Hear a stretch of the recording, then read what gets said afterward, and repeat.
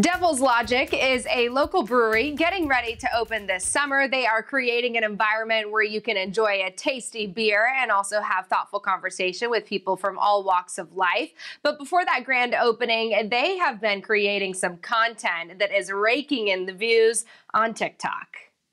We're sending a beer to space. Let's go. As the team preps for the grand opening, Devil's Logic decided to get creative with their content and attempt to send a beer to space. Here's the GoPros, helium tank, and all that jazz. So we set up our little uh, weather balloon action table. Boom, let's get it all going. Here we are with the weather balloon now. We're going to start loading that guy with helium. Once it gets up, there's a little parachute that's going to attach. And once that guy pops in the air, hopefully that parachute there opens up and it uh, lands safely on the ground, the cooler that is. That way we can find everything.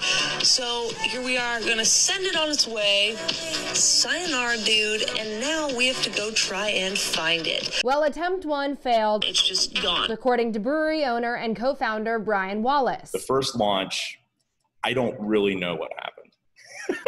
To be honest. If you've been around for a bit, you might have seen the first time we tried this, and it was an absolute disaster. But with more than 260,000 people watching this science experiment, they recently attempted launch two. We're sending a beer to space, part two. Which initially went perfectly as planned until their cameras shut off. But don't worry, this won't be their last attempt to get footage of a Devil's Logic brew out of this world. As soon as I figure out why the cameras stopped recording halfway up, um, we'll we'll go ahead and do our third launch, and I'll let you know. So they say even though the camera shut off, they don't have video proof. They think, Larry, that that second attempt got anywhere between 90 to 95,000 feet. So this is pretty neat.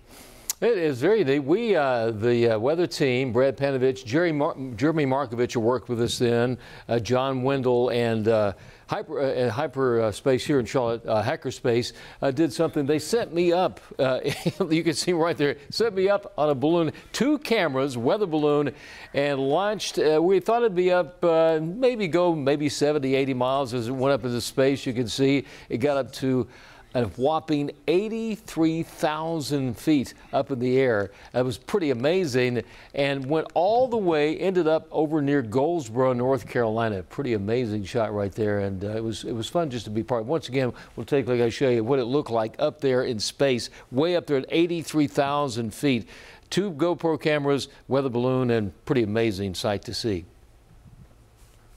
That is awesome. I looked it up. I, commercial planes fly around 30,000 feet. So when you mm think about 82 or 90, 95,000 feet, that is that's up there. way, up there way up there in the jet stream. That's exactly where it is. But it, it